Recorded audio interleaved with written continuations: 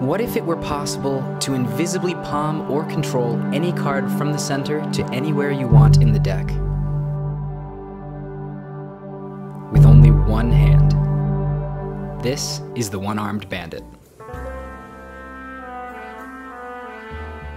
Hold it! Put your hands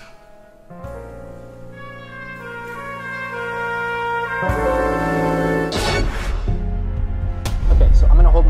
This so you can see there's no moves, no funny business. Uh, Zach, could you just say stop anytime while I'm going through? Stop.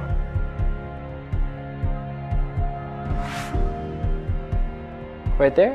Do you like that one? Yeah. Okay, now the card that you just looked at, that wasn't uh, the bottom one, correct? That was one in the middle? Okay. Could you hold out your hand like this? Perfect. Now, even though all of you have been watching my hand this whole time, inside of my pocket, I actually have one card. It's like your six of clubs.